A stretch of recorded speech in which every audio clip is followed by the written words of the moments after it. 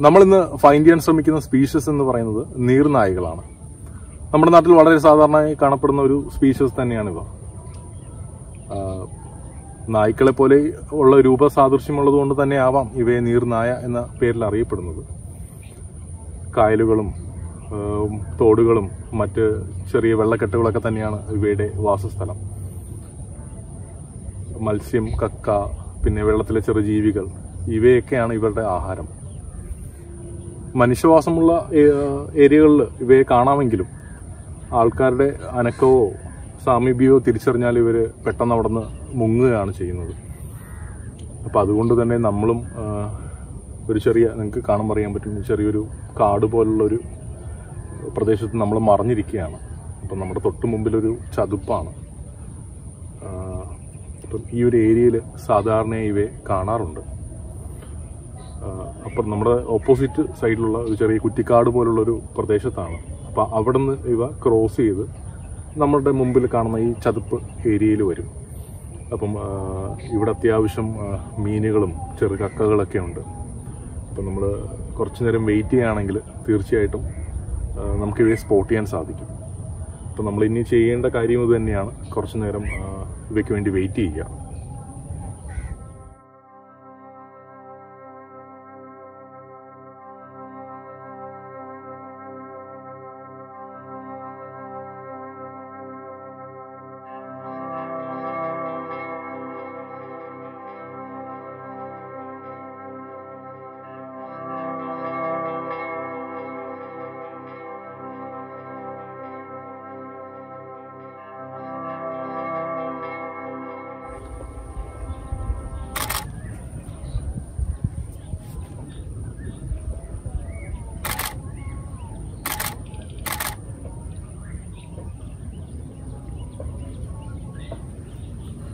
എന്തായാലും നമ്മുടെ കാത്തിരിപ്പ് വെറുതെ ആയിട്ടില്ല.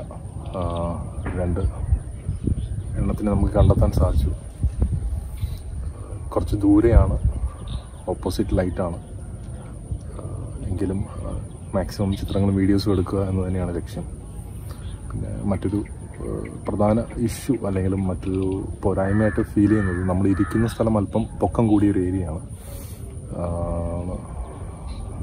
അവ നിൽക്കുന്നത് നമ്മളെക്കാളും ഒരു രണ്ടടി താഴ്ചയിലാണ് അപ്പോൾ നമുക്ക് കുറച്ചുകൂടെ ഐ ലെവലിൽ പോകാം. പക്ഷെ ഞാൻ അങ്ങനെ ട്രൈ ചെയ്തപ്പോൾ ഫേസ് ചെയ്ത ഇഷ്യൂ എന്ന് പറയുന്നത് നമ്മുടെ തൊട്ട് മുമ്പിൽ കുറേ പുല്ലുകളും ചെറു ചെടികളും ഒക്കെ വളർന്നു നിൽപ്പുണ്ട് അപ്പം ഐ ലെവലിൽ പോവുകയാണെങ്കിൽ നമുക്കൊരു ക്ലിയർ വ്യൂ ഇല്ലെങ്കിൽ അത് നല്ല ചിത്രങ്ങളൊന്നും കിട്ടില്ല. അപ്പം അതുകൊണ്ട് തന്നെ വീണ്ടും ഞാൻ ബാക്ക് ടു കുറച്ച് പൊക്കം കൂടിയ ഒരു ഏരിയയിൽ തന്നെ വന്ന് നിൽക്കുകയാണ്. കുറച്ച് ചിത്രങ്ങളും വീഡിയോസും ആദ്യമേ നമുക്ക് കവർ ചെയ്യാം.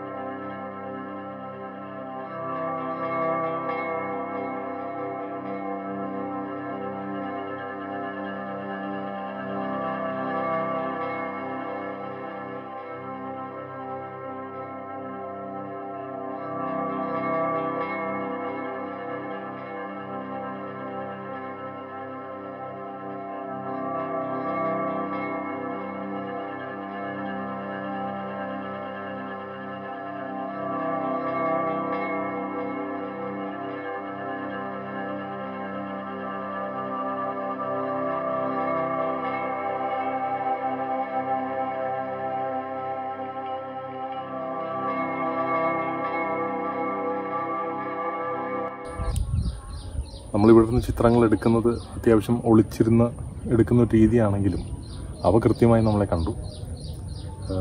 നമ്മുടെ മുമ്പിൽ കുറച്ച് നേരം വന്ന് എന്താ ചെയ്യുന്നത് എന്നിങ്ങനെ നോക്കി കാണുകയും പിന്നീട് പിന്നീടൊരു പോക്കതങ്ങ് പോയി. അപ്പം ഇനിയിപ്പം ഞാൻ നമുക്കിപ്പോൾ അവയെ കാണാൻ പറ്റുന്നില്ല. പക്ഷേ ഒരു കാര്യം ഉറപ്പാണ്.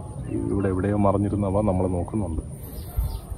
അപ്പം ഇനിയൊരു അതിനൊരു കംഫോർട്ടായിട്ട് തോന്നുന്നൊരു സമയം മാത്രമേ അത് ഒളിച്ചിരിക്കുന്ന സ്ഥലത്ത് നിന്ന് പുറത്ത് വരികയുള്ളൂ. അപ്പോൾ ഇങ്ങനെ നമ്മൾ വെയിറ്റ് ചെയ്യുന്ന സമയത്താണ് മറ്റൊരു സ്പീഷീസിനെ ശ്രദ്ധയിൽപ്പെട്ടത്. നമ്മുടെ നാട്ടിൽ വളരെ സാധാരണമായി കാണപ്പെടുന്ന കീരി. പൊതുവെ എല്ലായിടത്തും കീരീനെ വളരെ കൂടുതലായിട്ട് കാണാം എന്ന് പറയപ്പെടുന്നുണ്ട്. അതിനുള്ള പ്രധാന കാരണം മുമ്പും ഇവയുണ്ടായിരുന്നു.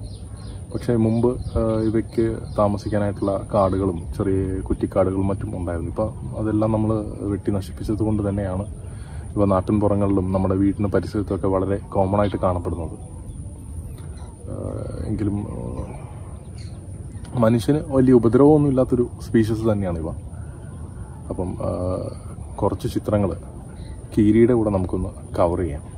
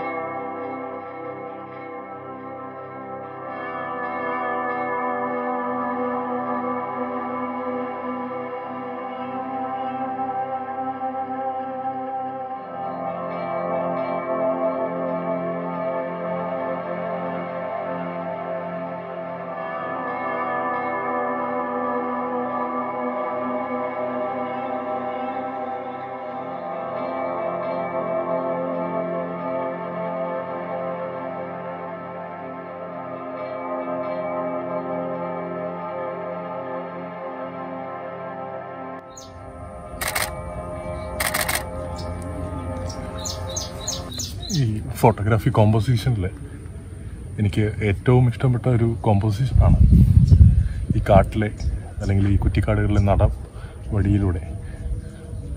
അതിൽ ആ നടവഴിയിൽ നമ്മൾ ഒബ്ജക്റ്റ് നിൽക്കുകയും ആ വഴി ഇങ്ങനെ നീണ്ട് വീണ്ടും കിടക്കുക. അങ്ങനെയുള്ളൊരു കോമ്പോസിഷൻ എനിക്ക് ഭയങ്കര ഇഷ്ടപ്പെട്ടൊരു കോമ്പോസിഷനാണ് എന്തായാലും നമുക്ക് ആഗ്രഹിച്ചതുപോലെ തന്നെ അങ്ങനെയുള്ള രണ്ട് മൂന്ന് ചിത്രങ്ങളൊക്കെ കിട്ടിയിട്ടുണ്ട്. അപ്പോൾ അതിന് വേണ്ടിയിട്ട് കുറച്ച് ഹൈ ലെവലിൽ തന്നെ നമ്മൾ പോകേണ്ടി വന്നു.